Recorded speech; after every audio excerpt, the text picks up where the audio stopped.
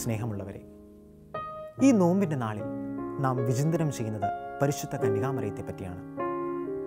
ജന്മപാപമില്ലാതെ ഉത്ഭവിച്ച പരിശുദ്ധ അമ്മ പാപികളുടെ സങ്കേതമായി മാറിയത് അവൾ മിഷിഹായ്ക്ക് പ്രിയപ്പെട്ടവളായതുകൊണ്ടാണ്. ഇതാകർത്താവിന്റെ ദാസി നിന്റെ വാക്കിനിൽ നിറവേറട്ടെ എന്ന പരിശുദ്ധമ്മയുടെ പ്രത്യുത്തരമായിരുന്നു അനുസരണത്തിന്റെ ഏറ്റവും ഉദാത്തമായ മാതൃക ആ ഒരു അനുസരണാശീലം തന്നെയാണ് ഇന്നിന്റെ ഈ കാലഘട്ടത്തിൽ നാം പരിശുദ്ധ അമ്മയിലൂടെ പഠിക്കേണ്ടത്.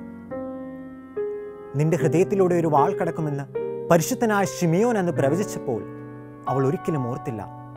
തന്റെ മകന്റെ കാൽവരിയിലെ ജീവാർപ്പണമായിരിക്കും അവൻ ഉദ്ദേശിക്കുന്നത് എന്ന് മരണത്തിന് തൊട്ടു മുൻപ് തന്റെ ചാരത്ത് നിന്ന പരിശുദ്ധ അമ്മയെ കാട്ടിക്കൊണ്ട് അവിടുന്ന് യോഹന്നാനോട് പറഞ്ഞു ഇതാ നിന്റെ അമ്മ. കാൽവരയിലെ കുരിശുമലയിൽ തന്റെ ഏകജാതനെ ഈ ലോകത്തിന് പാപപരിഹാരപരിയായി സമർപ്പിച്ചതുകൊണ്ട് ലോകം പരിശുദ്ധ കന്യകാമറിയത്തെ അമ്മ എന്ന് വിളിക്കുന്നു. ആ അമ്മയുടെ വിധേയത്വവും മക്കളോടുള്ള സ്നേഹവും അനുസരണാശീലവുമെല്ലാം നമ്മുടെ ജീവിതത്തിൽ പ്രചോദനമായിരിക്കട്ടെ. അമ്മയെ നമുക്കും നമ്മുടെ ജീവിതത്തിലേക്ക് ക്ഷണിക്കാം.